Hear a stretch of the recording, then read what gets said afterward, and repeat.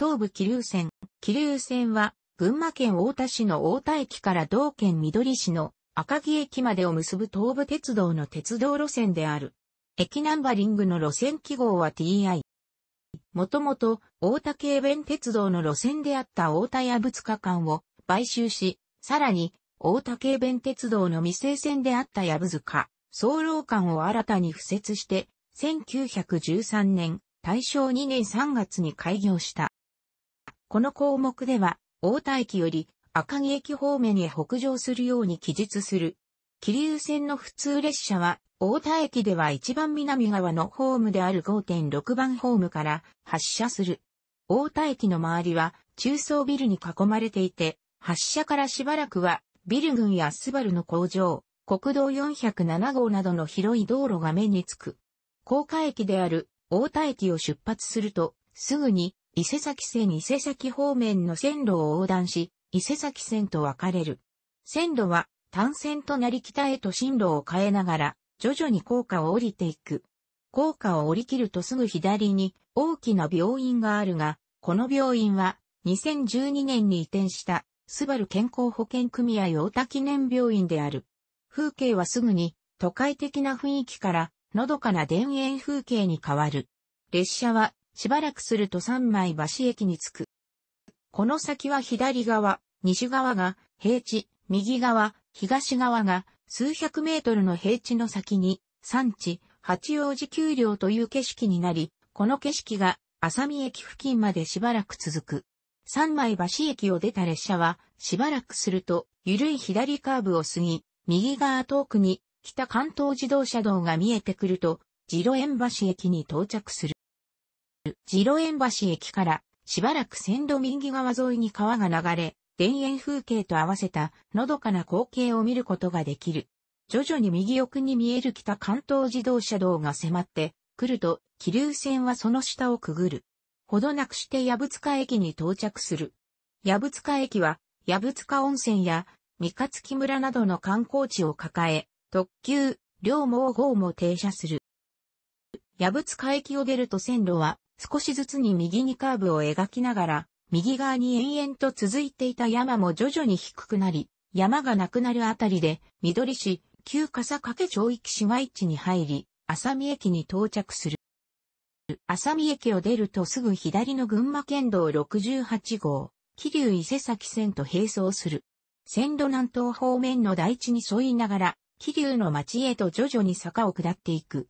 やがて国道50号の橋の下をくぐり、桐生市に入る。この辺りから左後方の高台に巨大な照明塔がいくつも立っているスタジアムのようなものが見え始めるが、これが桐生協定場である。桐生線は浅見駅から愛、老駅までこの協定場、浅見沼の東側を迂回するように進んでいく。坂を下ると線路は再び北に進路を取り、新桐生駅に到着する。桐生線は桐生市民の東京への足となっており、特に両毛号はこの駅で大半の乗客が乗降してゆく。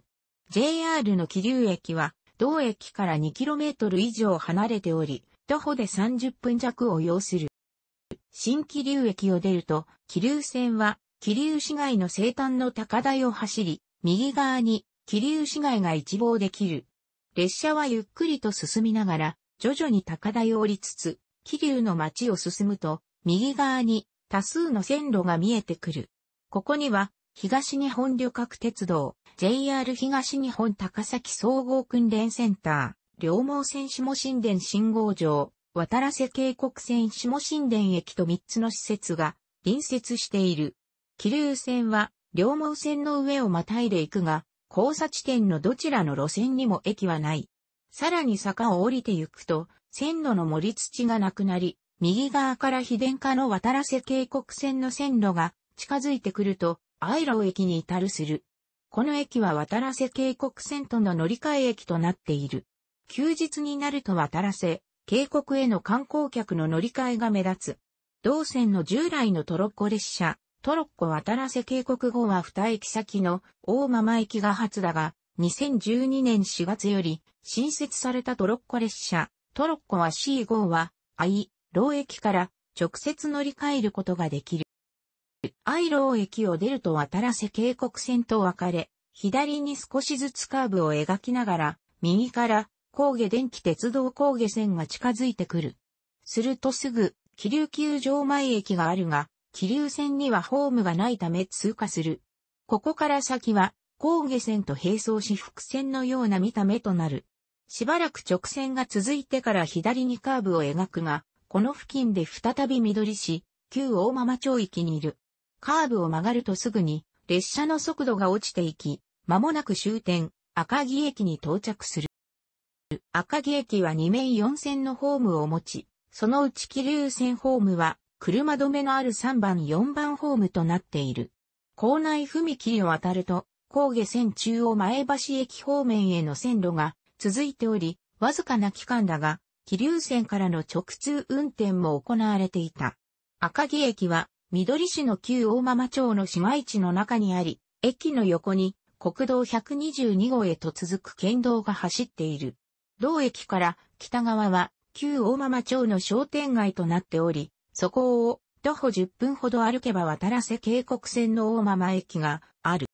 特急と普通列車が運行されている。気流線の元になった矢塚石材軌道は、石材採掘販売をしていた矢塚石材を改祖したもので、社長は、はずみ地蔵であった。大田、矢塚間に軌道を敷設し人力で石材の運搬をしていた、ガドン牛様の海産機などは、産経客の輸送もしていた。やがて一般旅客及び貨物の輸送をするため、軽便鉄道施設を出願し1911年7月免許状が下付されると10月に大田軽便鉄道に解消、さらに蒸気機関車に変更するべく翌年に東武鉄道専務を社長に迎え、東武鉄道出資により改築工事を始め、やがて東武鉄道に鉄道部門を譲渡することになった。